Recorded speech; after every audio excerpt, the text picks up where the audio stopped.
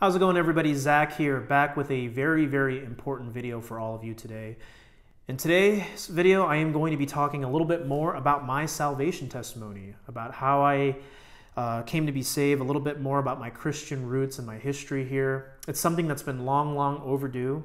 Uh, it's something that the Lord's burdened me with and it's put on my heart. So I thought that today is the best day, if not finally, to make my salvation testimony once and for all for all of you viewers out there. You know, the truth of the matter is, I had been making frequent inferences and implications in my videos throughout time that I am a Christian, fostering conservative beliefs and everything. But I hadn't made a salvation testimony video. I hadn't proclaimed to all of you out there who've been watching me for quite some time now of how I came to be saved and how you can be saved as well. And so that's really the purpose of this video. It's really the job of every Christian to share their testimony with the world, to preach the gospel to every living creature, because ultimately salvation in Christ alone is the most important decision that anyone could ever make.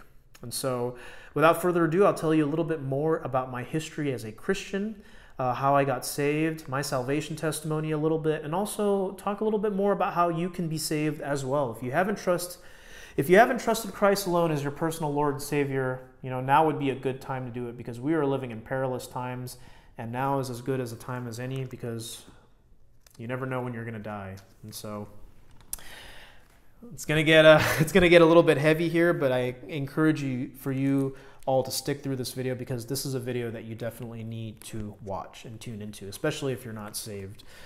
So, a little bit about my background. Um, I grew up in a Christian household. I've been saved since the age of six. You know, I grew up predominantly in an Assemblies of God church, a Pentecostal church, which I will say that for the record, I do not subscribe to a lot of the doctrines that the Pentecostal and the Assemblies of God uh, Church teaches, but I was saved at a young age, and it came because I had a profound question that every five or six year old has at that age, which is hey, when I die, what happens? Where do I go when I die? And thankfully, I had a loving father and a Christian family, a Christian household that I grew up in that told me the truth that at the end of the day, when you die, you are going to spend eternity in one of two places. You're either going to spend eternity with God in heaven, or you're going to spend eternity in a literal fiery pit of hell where you burn there forever. And for a five or six year old kid, not just in a Christian household, but for any other kid for that matter, that's enough to really terrify you to your soul. That's enough to really place a big burden on your heart about where you're going to end up when you die. And it didn't take much convincing. I trusted Jesus Christ as my Savior at the age of six or seven.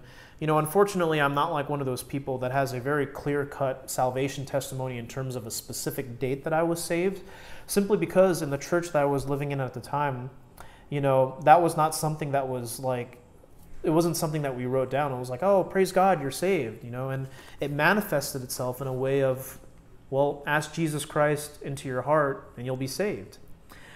It wasn't until many years later, in fact, until recently, that I found out that simply just asking Jesus Christ into your heart isn't really going to mean much unless you have the full gospel and much context behind that. Because really, what I struggled with, what I proceeded to struggle with for the next 15 to 20 years, was really knowing if I was saved or not.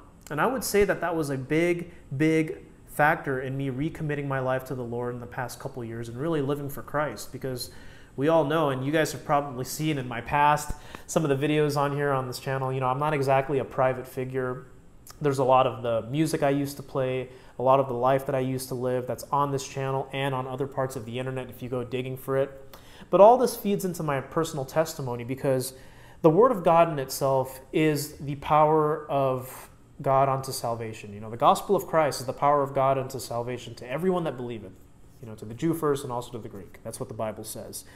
And I believe that I really was recommitted and convicted when I heard the gospel again fully a couple of years ago. Now, I have no doubt that I was saved at the age of six because for the most part I lived a somewhat Christian life, but I was living carnally. You know, I can't say that I always was in and out of church, was very infrequent when it came to that. And for the most part, I didn't really grow up in a Bible believing church a lot of churches out there may claim to be Bible believing, but when you've spent a lot of time, if you have a similar testimony to me, and you've spent a lot of time in an Assemblies of God church, a Pentecostal church, or even a charismatic evangelical church, the topic of sin, hell, repentance, living for Jesus Christ doesn't get preached very often because it's just simply not popular. When you have to confront a lost soul or a fellow Christian and really confront them, rebuke them in terms of the sin that they have in their life and are dealing with, that's oftentimes going to be very difficult. And it's not the, the message that people want to hear. Because if it were the message that people will hear, then we would hear it more often. But unfortunately, in a lot of the watered down Laodicean churches that we live in today, we're not hearing that, which is very, very concerning because a lot of people may think that they are Christians, but they may stand before Jesus Christ one day and go, Well, Lord, I did all these things for you, and Christ will proclaim to them, Depart from me, I never knew you, ye that worketh iniquity. I mean, that's a very real thing. But back to my salvation testimony. A couple of years ago, the Lord convicted me. You know, it was time to start living for Him again. It was just something that He was revealing to me, not just through His Word, but through prayer and whatnot. Because from what I remembered completely and what I under- came to understand was that when you are saved, it's not a feeling. And that's contrary to what the Pentecostal church will teach you, which is, oh, if you have the gift of the Holy Spirit, you're going to speak in tongues. You're going to, you know, proclaim the, the signs and wonders that the apostles did. And, you know, I found out later on that that wasn't Bible, but we'll get to that in future videos. Um, but the truth of the matter is, you know, I, I was saved at six years old in a Christian household, but I never lived for Jesus Christ for the next 15 to 20 years. Yeah, there were Christian elements in my life, but I did everything essentially every worldly lost person would do. I listened to metal music, I was playing funk and rock and roll music and R&B and you know, living like any other carnal Christian. Like I wasn't a horrible person. I didn't get addicted to drugs. I wasn't drinking or doing anything. But the truth of the matter was, if you had asked anybody if I was a Christian at that time, throughout the time I was giving up, I'm willing to bet that most of them would have said, well, yeah, he says he, he's a Christian and he goes to church, but that's about all I know. When in reality, that is not the biblical definition of what a Christian is, and that's what we're going to get to.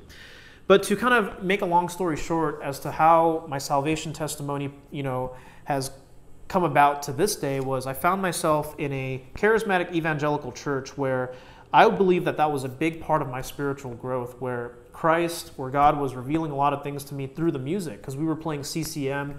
I was playing through, uh, I was playing worship music for this church. And one of the most popular songs that we were playing was a song called Reckless Love, which, for those of you out there who listen to CCM, which I recommend you don't, um, probably know of. And it's a song about God's reckless love. But we all know, you don't even have to be a Bible, active Bible reader to know that God's love is not reckless. Reckless means not considering the consequences, careless, you know, not careful, reckless, not giving much care to. When in reality, God's love is precisely the exact opposite of that, which is it's perfect, it's holy, it's pure. And so that started a journey of me to find out that the music, number one, that I was playing in that church wasn't right. And a lot of people who've come out of Bethel Church and Hillsong Church and whatnot like that have similar testimonies. But then, secondly, that the Bible that I was reading out of wasn't right. And so it was around the same time also that I got turned on to the King James Bible. And it was about a couple of years ago, I think it was at the end of 2018 when the Lord brought me back to Arizona and said, Hey, you need to start living for me. You spent the past 23, 24 years of your life living on your own, living by your own will, doing your own thing. And I wasn't happy. I was miserable. You know, I seemed like I was doing well, but I was just kind of going through life, going through the motions. You know, my YouTube channel had exploded at that time. I became a bit of a political figure, but when he led me back to Arizona, that's when I started rededicating my life to the Lord and really living for him.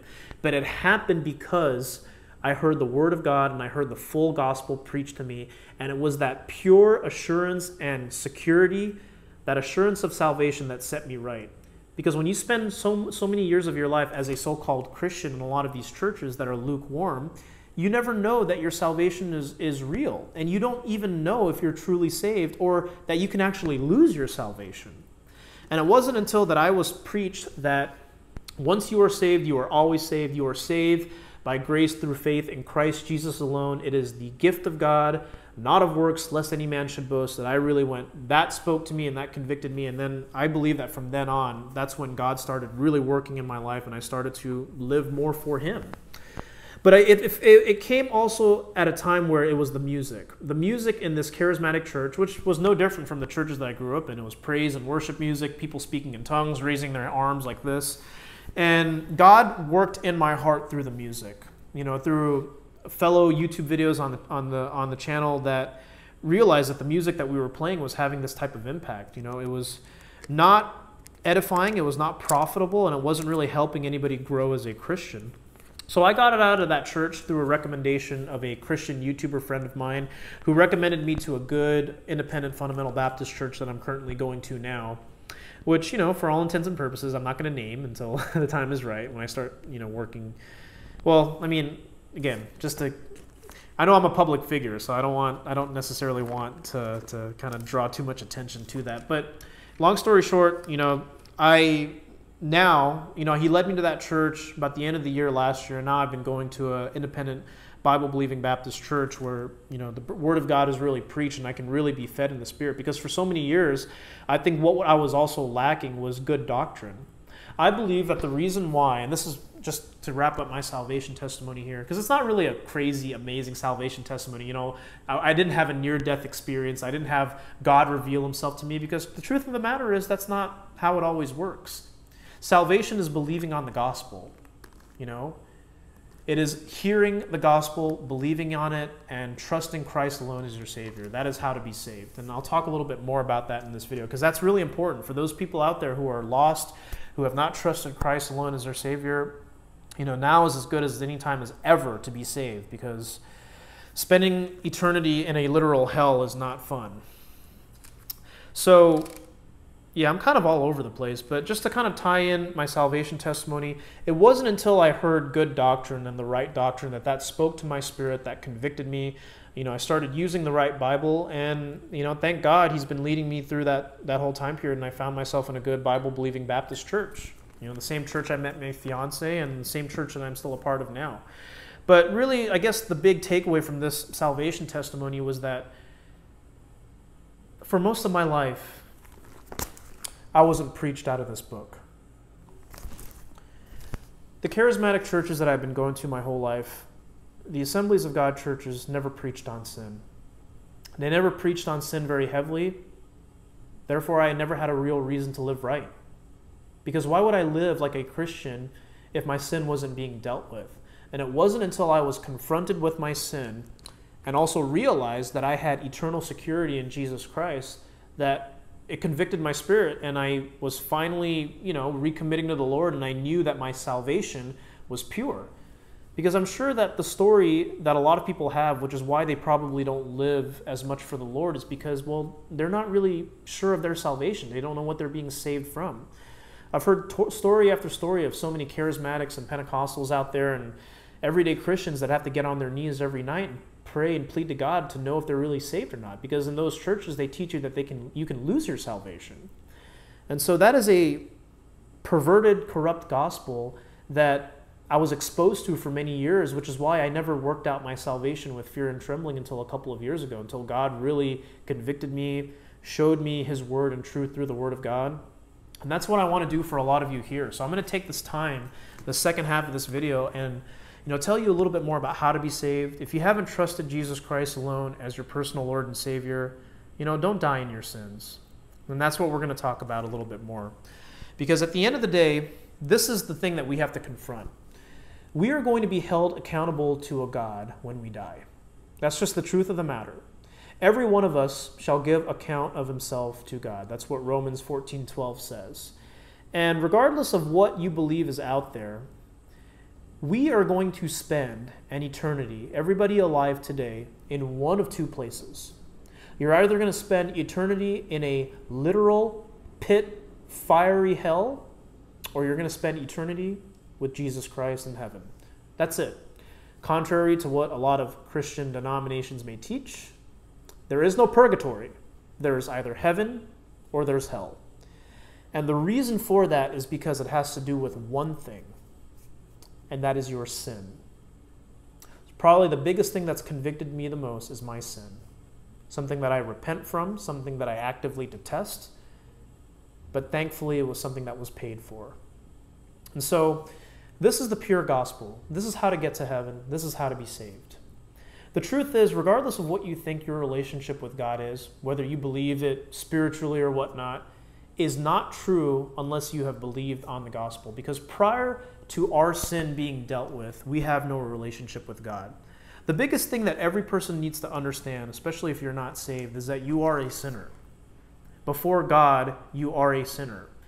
The Bible says very clearly that we are sinners from birth, that there is none good. Nobody is born a good person. Contrary to what you're taught and what you may believe of yourself, which is, hey, I'm a good person. I do good things. I'm a kind person.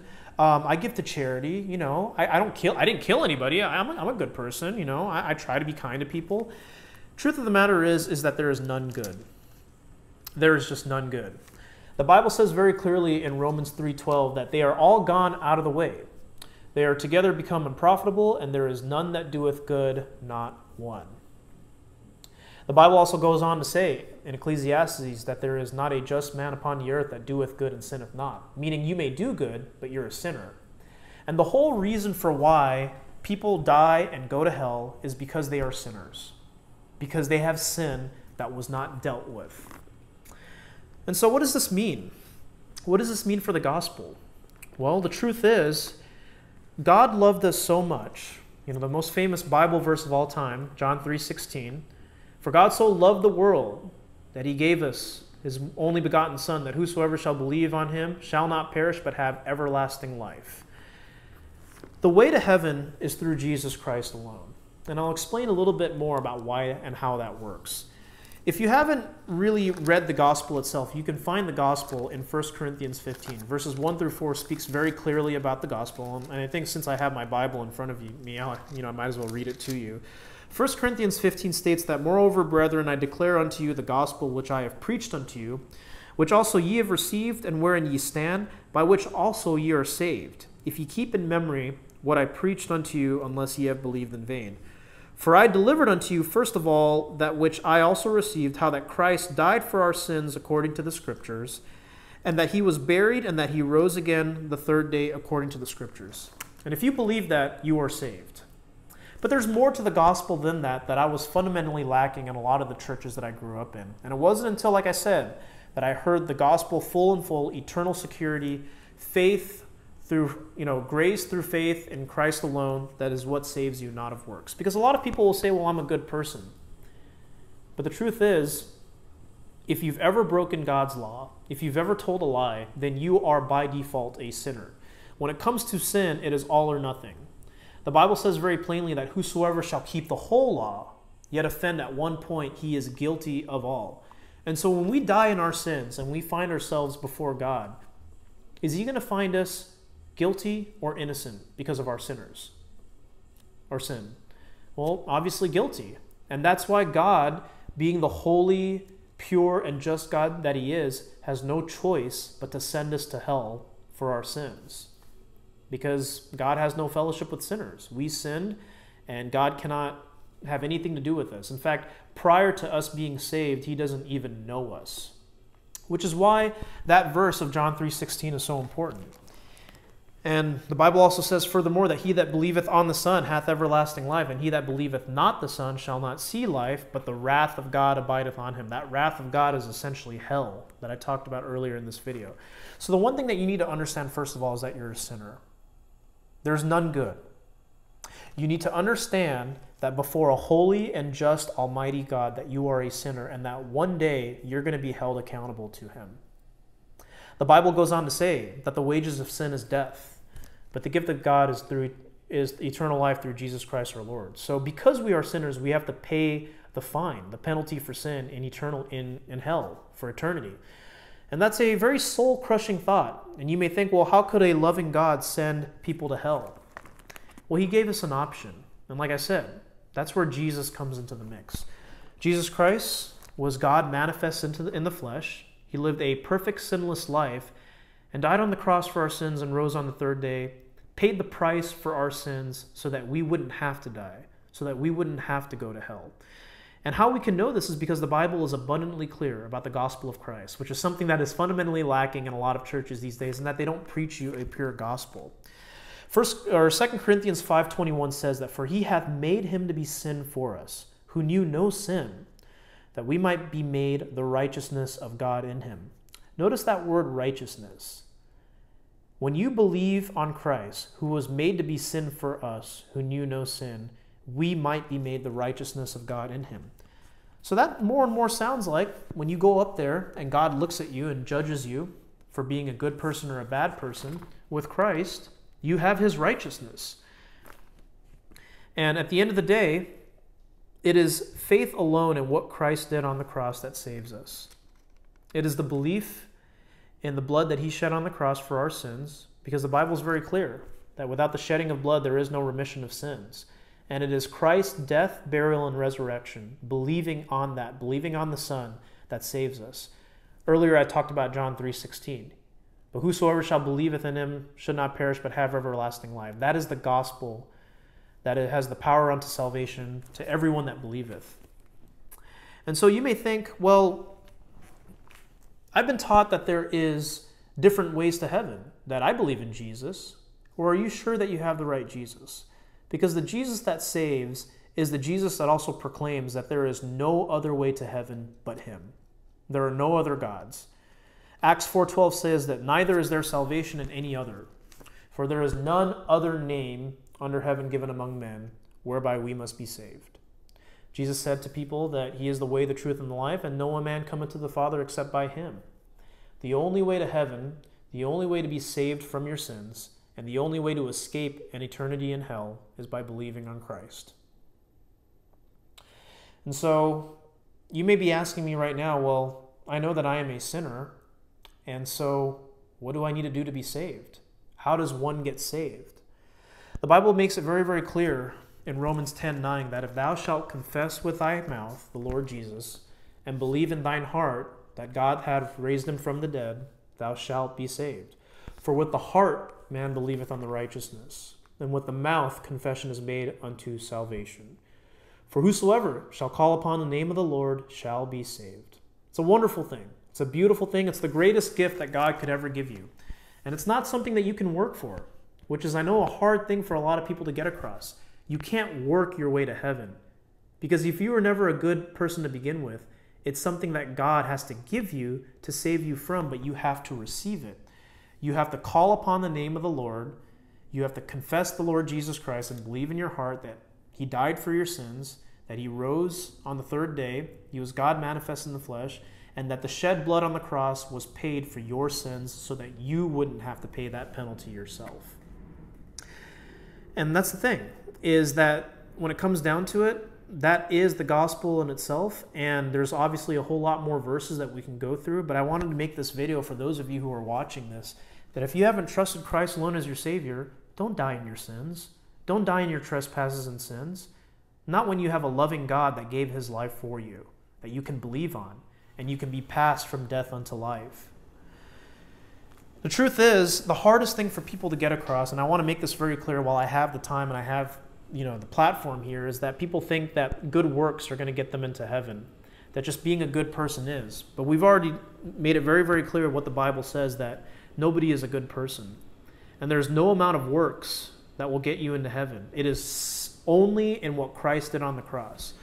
Ephesians 2 8 says that for by grace are ye saved through faith and that not of yourselves. It is a gift of god not of works lest any man should boast gift of eternal life. You don't earn a gift, you don't work for a gift. It is something that God has given you, and it is something that you have to ask Him for, believe on, and receive. And that is the gospel that saves. That is what it means to be a Christian, to believe the gospel.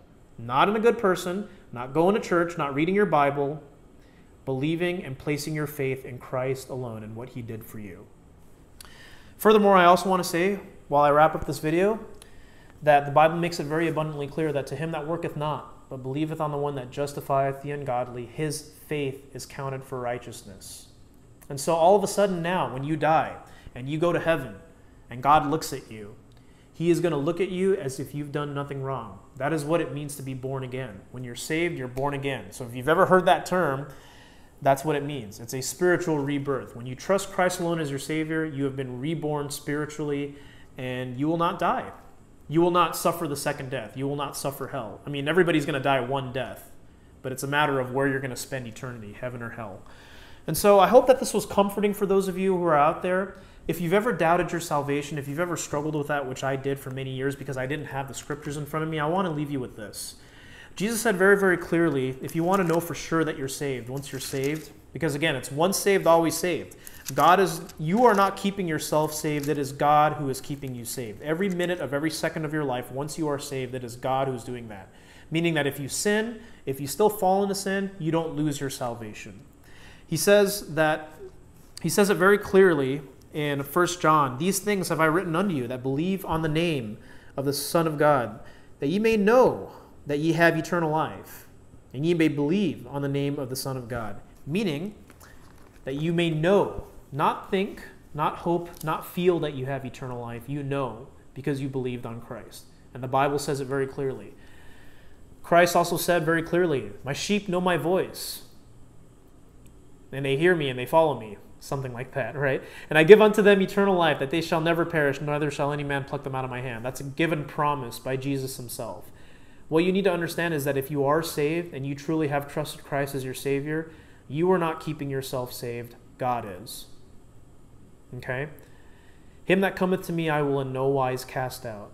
And so if you're not saved, and I know I've been hammering this, this point home, I really want you guys to get this. If you're not saved, then you're a lost person. Don't die in your sins. You know, believe on Jesus Christ. Ask him to be your personal Lord and Savior, but more importantly, understand what he did for you. That he died on the cross for your sins, that he rose again on the third day, and he is giving you the gift of eternal life. If you'll trust him, if you'll confess your sins, and if you'll believe on Him for everlasting life, He will save you in an instant. And you won't have to worry about where you're going to spend eternity. And so I hope that this video was helpful to you. I am going to post a more thorough salvation video about how to be saved because there's just so much Bible out there about how to be saved. And there's hundreds of verses about how to be saved. And I want to make sure that I took this time to at least give you a little bit more about the gospel here, but also share my salvation testimony because it is the most important decision that anyone can make in this life. It's where you're going to spend eternity and who you're trusting in. Not in yourself, not in your works, but solely in Christ alone and what he did on the cross for you. So if you made it to the end of this video, praise God. Thank you so much for listening to this. I hope you, you know, you got saved from watching this video. Please do let me know what you think in the comments below. I would love to hear you guys' testimonies as well. And if you're not a Christian and you're not saved yet, I encourage you. In fact, I plead, beg you to be saved. But at the end of the day, it is going to be your heart you know, just praying a prayer and, you know, asking Jesus in your heart is not going to do anything. He really needs to transform you from the inside out. And how that's going to happen is through the Bible. For by faith cometh by hearing, right? And hearing by the word of God. And so if you'd like for me to do more salvation oriented stuff, please let me know because I know that there's a lot of people that watch my stuff that are not saved, and I want to make sure that everyone has an opportunity to hear the gospel to be saved. So this was a very important video to make, and I'm so glad that the Lord has just given me the opportunity in this platform to share this. You know, I pray that you guys out there who heard this got something out of it, uh, that it was edifying to you, that, you know, the Lord works on your heart. And so, especially in perilous times like this, you know, now is the time to question your mortality and question where you're going to spend eternity. So without further ado, I'll leave you guys with that. If you liked what you saw, leave a like and a comment and subscribe to my channel if you haven't done so already and I look forward to seeing you guys in the next video. This channel is going to start taking more of a faith Christian approach. I won't neglect the dating or the politics or the social commentary, but now that I've made my salvation testimony and what the Lord's done in my life, my identity is in Christ. Not in Democrats or Republicans, not in liberals or conservatives, but in Christ. So thank you guys. I'll see you all soon. Bye bye.